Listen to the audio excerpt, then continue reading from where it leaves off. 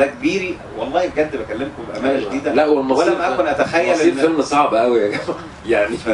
بيتكلم على شط في بلد وشط في بلد فيعني فتعالى كون ال staff بتاعك قلت له staff إيه؟ وبعدين كمان الديكوباج بتاعه بالفرنساوي فأنا عمري ما حلمت إن أنا أبقى ماسك ديكوباج بالفرنساوي. أنا ما بعرفش فرنساوي. طب أنا إزاي هقرأ الديكوباج بالفرنساوي؟ دكتور فأنا أصلا ما كانش عندي أي احتمال إن أنا أبقى مساعد اول أصلا. ليه؟ لأن الراجل ده بيكتب ديكوباجه بالفرنساوي طب أنا هاخده وأعمل له إيه؟ وبالعرض مش بالطول ف فما تخيلتش خالص قال لي قلت له اكون الصف إيه؟ قال لي الصف بتاعك ما أنت هتبقى المخرج المساعد أو المساعد الأول. قلت له أنا هل أنا مؤهل لده؟ قال لي آه. لما قال لي الجابي خوري إن خالد يوسف هيبقى هو المساعد الأول جابي آه كراجل منتج وبرضه راجل بيفكر بشكل علمي قال الراجل حصل له حاجة. ما ده مش ممكن ده كان بيحرك الجمال في في ال background إيه هيعرف المساعد؟ الأول يا جماعة هو روح وعصب الفيلم.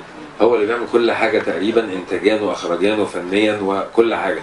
فبالنسبة للمنتج المساعد الأول إحنا كانوا بيجي المنتجين يقولونا يقولوا لنا بدل ما المخرج عايز يعمل الفيلم ده في سبع أسابيع خليه في ست أسابيع وخد اللي أنت عايزه.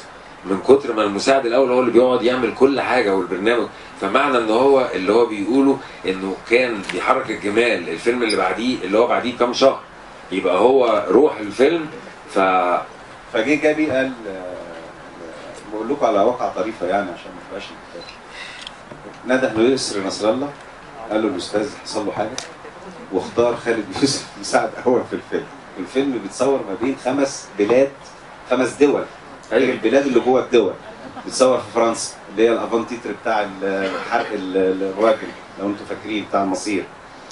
حرق الولد الصغير الراجل اللي هو أبو الولد اللي هيهرب الكتب بعد كده. وبيتصور في المغرب وبيتصور في سوريا وبيتصور في لبنان وبيتصور في مصر وكل بلد فيها كمان 20 محافظة بت- بتصور فيها. يعني كنا بنصور مثلا في درعا ما انساش محافظ درعا وهو بيقول ليوسف شاهين لما راح شاف الشلال بتاعه. لقاه ضعيف جدا. ده دي برضو واقعة في النص كده افتكرتها. فقال له "بس مش هعرف أصور عندكم المية عندكم يعني هادية جدا وما تشيلش مركب يعني. قال له إزاي؟ قال له المية تبقى كتير ما يهمكش. قال له نعم يعني إيه المية تبقى كتير يعني؟ هو بالقر قال له طبعا. هقفل لك المية على درعا كلها على محافظة درعا والمية تبقى وبالفعل عمل كده. بالفعل عمل كده. الفيلم ده المصير إحنا شفنا فيه حاجات. أنا هرجع لكم للي أنا كنت بقوله بس افتكرت وقائع كده على تقدير هذا الرجل في البلاد. يعني رحنا لبنان قابلنا الرئيس الجمهورية وقابلنا وزير الدفاع وقابلنا رئيس الوزراء اللي هو الرئيس اللي بيسموه دولة الرئيس ودولة الرئيس. تمام؟ وقابلنا نبيه بري رئيس مجلس النواب. كل دول بيقابلوا يوسف شاهين عشان يشوف يشوفوه محتاج إيه انت محتاج إيه. فقال أنا محتاج أصور في دير القمر قالوا له ده المنطقة دي بتاعت آه، وليد بيك جنبلاط هات وليد بيك يجي وليد بيك جنبلاط عايز إيه يا أستاذ يوسف؟ ساعتها لسه ما كانش أمور الجرافيك آه، زي دلوقتي. فكان لما تيجي تصور مشهد تاريخي كده وتلاقي عمود نور في ال background كان يطلع عينا عشان نمسحه كانت تقنية صعبة جدا في وقتها. فيقول له عايز مش عايز العمدان دي. والسلوك دي مش عايزها. و... والله العظيم ما بهزر. فيشيل له العمدان من الشوارع. العمدان تتشال من شوارع دير القمر من الطريق كلها عقبال ما الأستاذ يوسف يصور. طب عايزين كومبارس. قائد الجيش يديله الألف كومبارس بأكلهم ب- ألف عسكري من الجيش ويبعت وجباتهم. يبعت وجباتهم. أنت بس عليك إن أنت تلبسهم لأنه لبس تاريخي مش عندهم. واخد بالك؟ فكانت بتتعمل له تسهيلات. يقول لك بيقطع المية عن محافظة عشان عشان هو يصور لقطة المركب. فكان في تقدير عالي جدا. إيه بقى اللي كنت أنا كنت بقوله ووقفت فيه ودخلت في ده؟ مش فاكر. مساعد اول مخرج آه فبقول لكم قال قال لي آه جابي خوري جه قال لي ليسر الله إيه؟ قال له الراجل حصل له حاجة ومختار آه، خالد يوسف يبقى المساعد الأول وده فيلم هيكلف أغلى تقريبا إنتاج في وقتها في السينما كلها.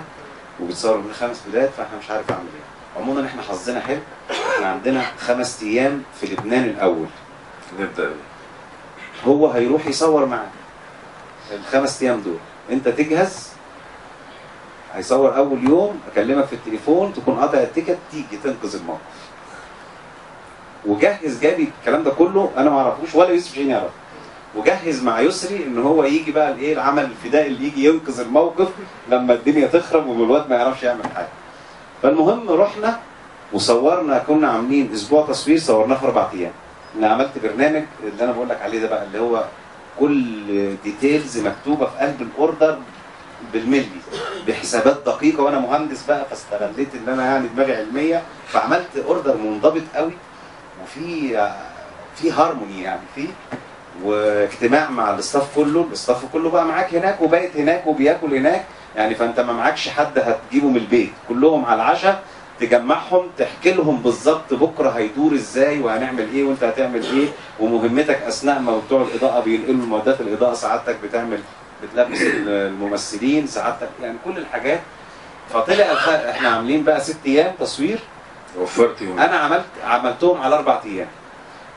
على الورق. يعني مش فشلت لا ده انت وفرت فأنا عملت أربع أيام يوسف شاهين ما وافقش. آه عشان متعود على ال لا مش متعود على لأنه هو حس البرنامج تقيل. آه. قال لي أنت ما عندكش خبرة وده برنامج تقيل اللي الاستاف ما يقدرش ينفذه. ده يوسف شاهين نفسه بقى. على فكرة هو أحسن مساعد في الدنيا. يعني بيفهم في ال... يعني بيفهم في الإنتاج وبيفهم يعني بيساعد نفسه. لو معهوش استاف خالص يعرف يشتغل. فقلت له يا أستاذ أنا اجتمعت مع الاستاف وعامل درجة تنسيق عالية وهنقدر نعمل ده في الأربع أيام. قال لي لو سمحت اسمع كده اعمله ست أيام. قلت له طب هقول لحضرتك حاجة ه... يعني هعمله لك على ست أيام زي ما أنت عايز لكن خلينا أول يوم زي ما هو كده. لو وقع مننا الشطات الفلانية شط واحد واثنين وثلاثه الأربع خمس شطات دول هننقلهم بقى تاني يوم. ونعمل على طول الايه البرنامج البديل. اللي هو ست أيام. فجينا ما وقعش مننا ولا شط في أول يوم. فقال لي خلاص امشي بالبرنامج بتاعك. فخلصناهم في أربع أيام.